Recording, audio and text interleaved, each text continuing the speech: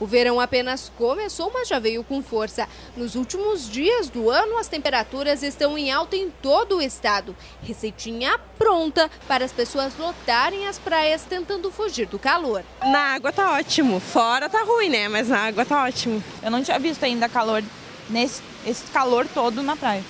O tempo colaborou bastante, né? Tá muito bom. A praia também tá maravilhosa. Pegar esse sol maravilhoso e aproveitar esses dias gostosos por aqui. Calor lá fora, embaixo do guarda-sol, um bom chimarrão, faz bem. E não é à toa que as pessoas estão fazendo de tudo para se refrescar.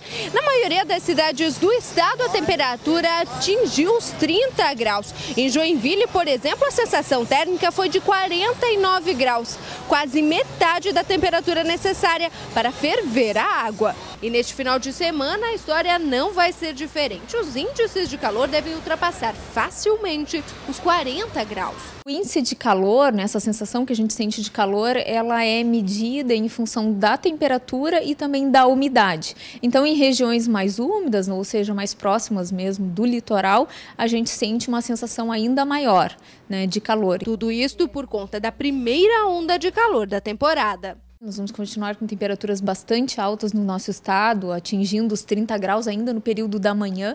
E esse calor ele se prolonga também no período da noite. À medida que os dias vão passando, a gente vai começar a sentir mais calor também no período noturno. O sábado será de muito calor em Santa Catarina. Pela manhã, o sol predomina. À tarde, muitas nuvens com pancadas isoladas de chuva em boa parte do estado. A temperatura mínima deve ficar em 17 graus na Serra e a máxima em 39 no Vale do Itajaí.